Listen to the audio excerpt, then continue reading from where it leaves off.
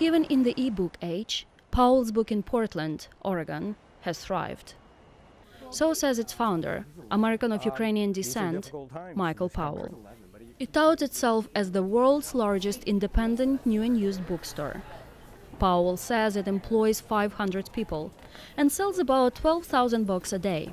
We treat every subject matter and every possible uh, kind of book with equal seriousness. So romance or westerns or, you know, uh, fantasy books or uh, books on religion.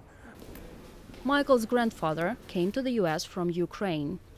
Though Michael himself has never been to the country, he says it's still a big part of his life. If people ask me what's your nationality, I always say Ukrainian. Running the business is a family affair, and Powell wants to keep it that way. While Powell handles the pricing and selects the books, his daughter Emily runs Powell's books. So I was the first one in the family to be in the book business when I opened a store in Chicago where I'd been a graduate student. I grew up in Portland. I, I treated uh, paperbacks, you know, in those days I, it was all used books. I didn't do new books then.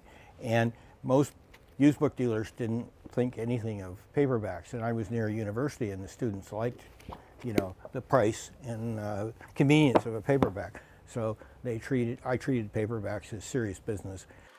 Powell's father saw how well the business was doing and eventually opened a bookstore in Portland. Michael Powell soon closed shop in Chicago and moved back to his hometown to join his father.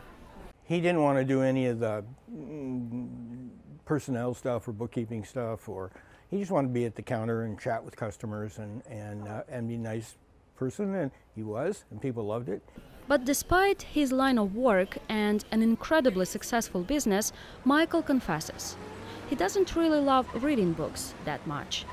And people will say to me, oh, you must really love books. And I'll say for myself, as I would say for my father, no, I don't love books. Anybody can love books. I love selling books. And that's the difference. When asked what his favorite book is, Powell always says, without hesitation, the next one. Iryna Matviichuk from Portland, Oregon, VOA News.